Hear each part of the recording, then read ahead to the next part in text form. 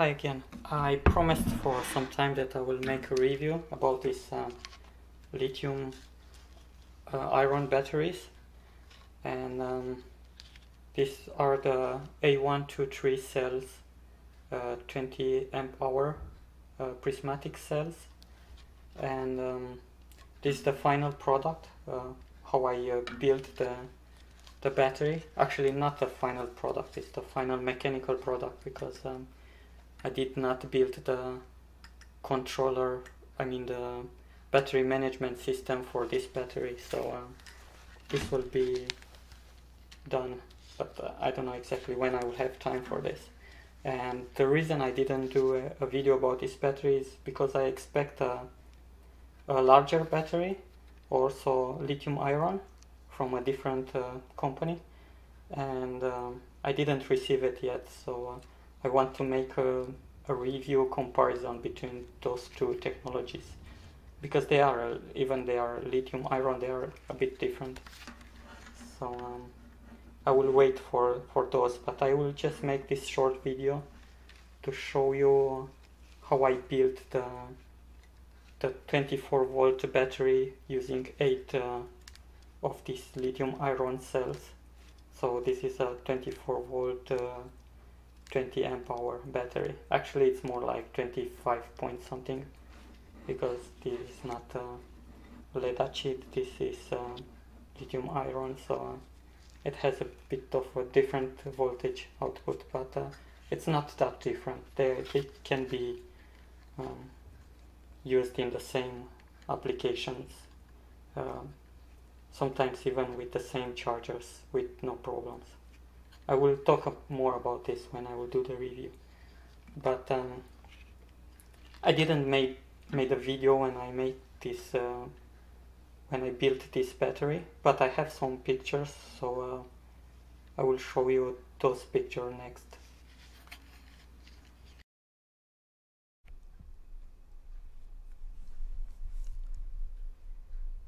So these are the photos from the uh, battery case build um, first thing I did, I was at a local hardware store and purchased this um, uh, 30 centimeter by 60 centimeter aluminum plate or 12 inch by 24 inch. It's a standard size, and actually, what this was the the only type of uh, aluminum plate that I was able to get at this local hardware store. So I had no choice uh, is about 0.1 inch thick or uh, 2.5 millimeter but uh, without the the model on the front uh, there is a brilliant or brilliance or something like that. The um, the kind of striation on the front of the of the plate. I think this this was the name of the the model. I don't know. It's it seems to be very common uh, anyway, I was thinking that I could uh, cut this uh, aluminum plate using just a simple uh, uh, knife cutter, but um, it seems I was wrong. It's probably this is um, um, a different type of aluminum alloy or something like that because I did cut before um, aluminum plates using just a simple knife tool but um, at this time I was not able to. It seems um, it it is a bit thicker than usual. Usually I have just two millimeter thick aluminum plate, but I think also the material was uh, a bit uh, harder to cut than what I used to have, and also the striation on the front didn't help.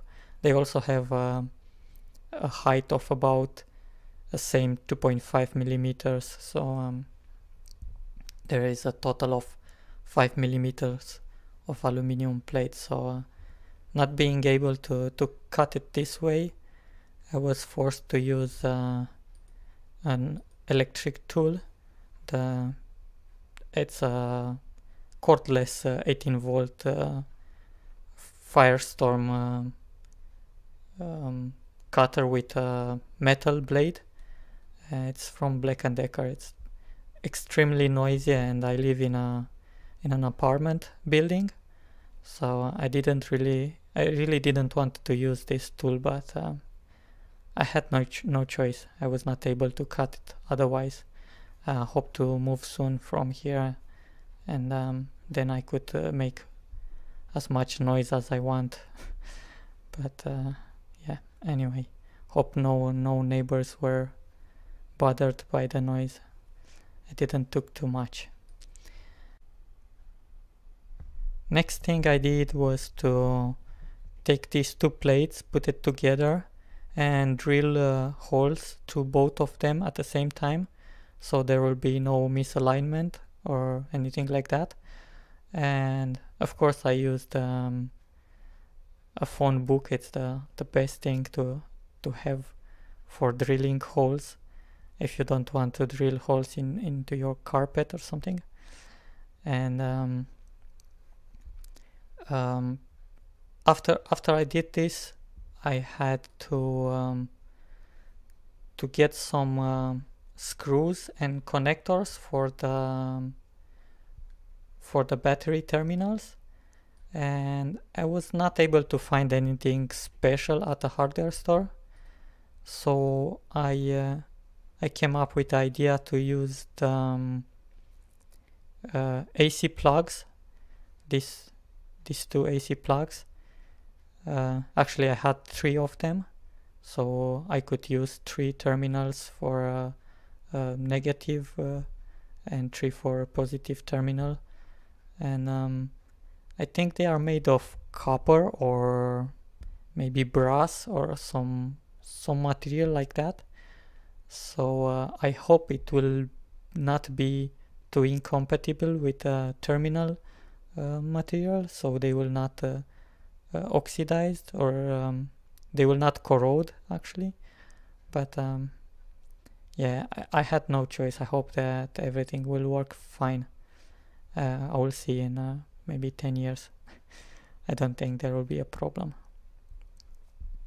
So um, I uh, I used two uh, wires for each uh, of these uh, uh, terminals.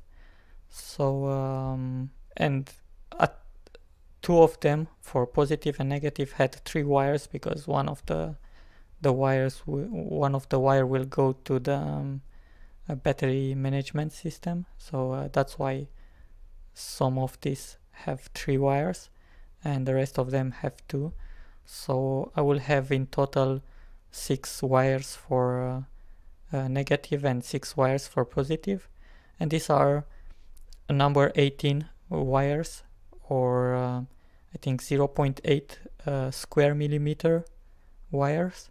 They are copper wires and they are um, uh, I think they are uh, tin plated or something like that. Not sure exactly uh, what they are plated with. But anyway yeah it's um, copper plated with something. As you can see in this picture the um, the drilled terminal it's the positive terminal. It's made of aluminum and it's folded in uh, in two so it will be a bit thicker.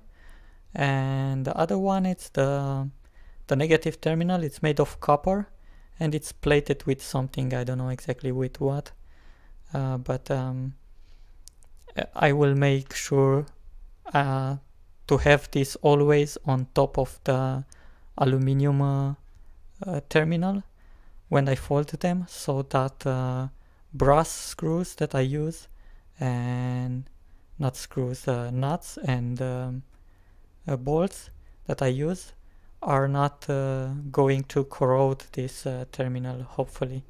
And um, also I use brass uh, washers so uh, they will be in contact with this uh, terminal.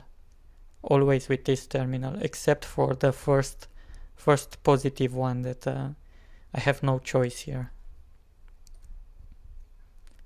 And as you see in this next picture uh, I fold the copper uh, terminal over the aluminum one so uh, and this will be always the case until the last uh, cell. And there will be eight cells in this battery bank and always the copper terminal will be on top of the aluminum one.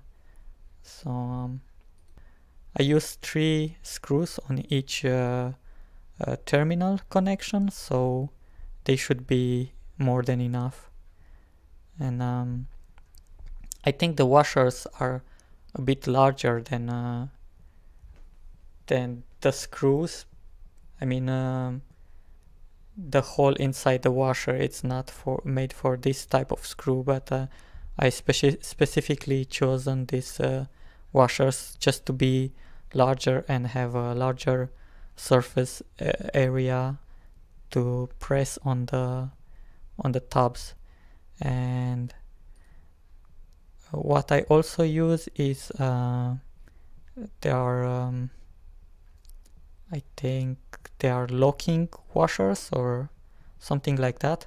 They are like a, a spring and when you um, uh, tight these uh, bolts and nuts together this uh, washer will keep pressure on the on the plate all the time so um, even if they they are not very uh, they don't have a very strong connection it will always be maintained by these uh, kind of springs. And um, as you can see one of the I use one of the screws to connect the the wire for the BMS from so for the battery management system. So I am able to measure the uh, voltage on any cell. And um, I will do this for all the cells. So for eight cells you have nine wires because you have the uh, positive and negative at the ends. And then you have seven other wires in in between the batteries where the connections are made. And as you can see here when I drill there is a lot of um, I don't know how to call this metallic uh, uh, I don't know the English word span but but you you can see in this picture it's um, it's a lot of uh, metal flowing around and you will not want to touch the terminals because they will short the the battery and uh, these batteries can put out a lot of current so uh, you'll not want to do this so you always need to insulate between terminals with something uh, um, good enough. I mean, I will not use paper or something that could be uh, easily penetrated by the screwdriver or something else because uh, it uh, it will not be nice to have a big flame uh, when you are working on these batteries you need to to be quite careful. And as you see here uh, I was almost done. Uh, I made all the connections and um, I only needed to put the top plate and close everything down.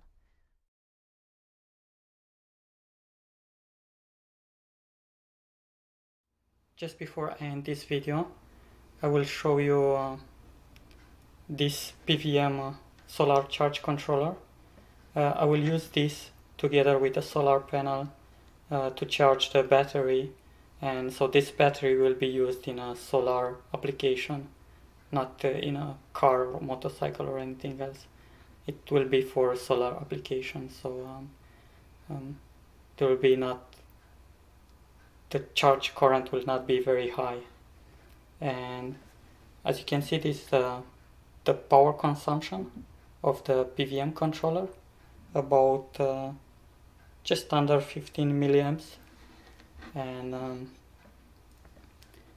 as you can see the battery is fully charged it's about 26.7 volt and um, yeah that's about it um, I don't have anything else about the battery. I will make a review later, but uh, for right now, this was just uh, what I wanted to show you how I built the, the battery.